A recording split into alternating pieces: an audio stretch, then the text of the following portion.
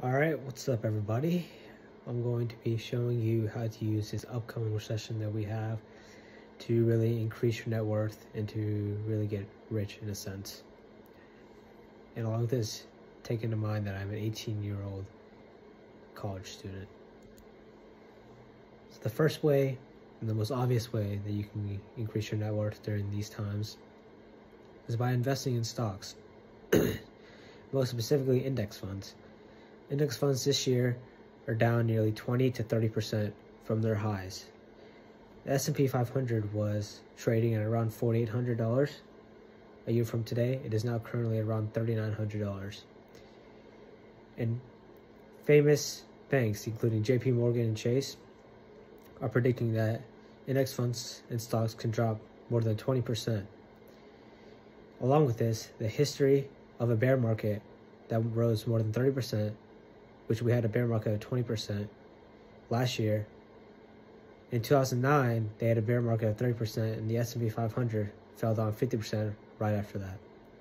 So stocks are a great way to increase, increase your net worth during a time of a recession.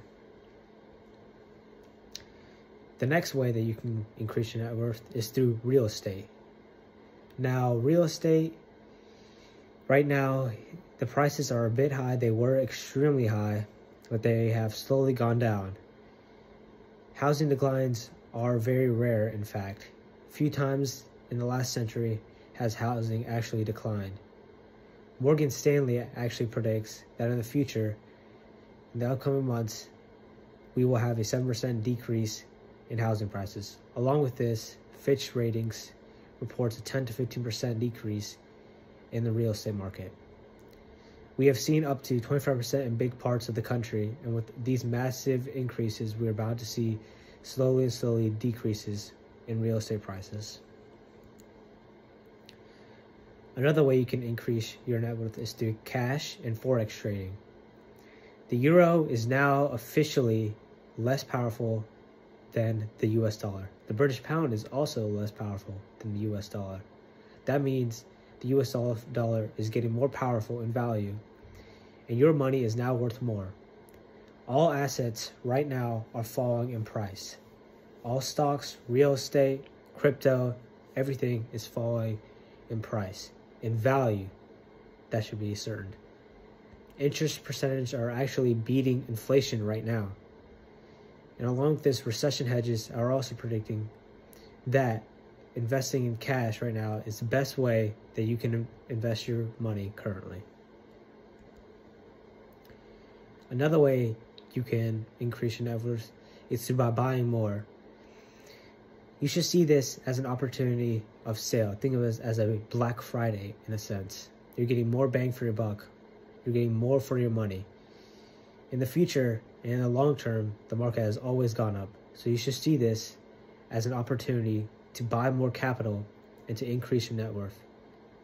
Right now, since there's a recession, there's less competition and many companies are playing it safe.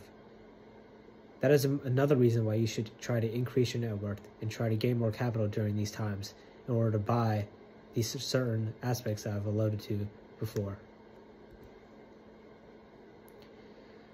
Another way to get rich, another reason during this recession is that after a bear market, there's always a bull market.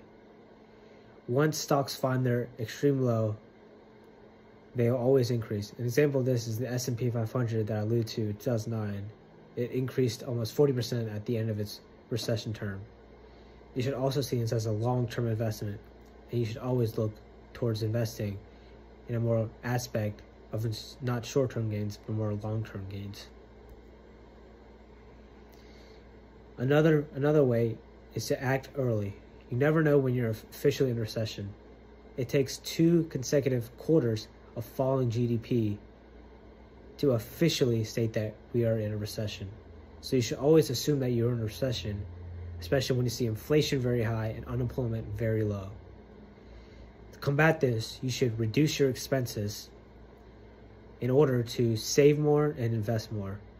Reinvest all the money that you have on the side, especially if you're young and do not have that many dependents. Along with this, you should have a plan if your income drops. You should always save up to six months of your income in case you ever get laid off from your job, fired, or something unexpected happens, like you have a health crisis or anything like that. So you really need to act early and act now. There's only about one to two more years until we're officially out of this recession. Thank you and I appreciate your time. Please leave a tip. Please like and subscribe.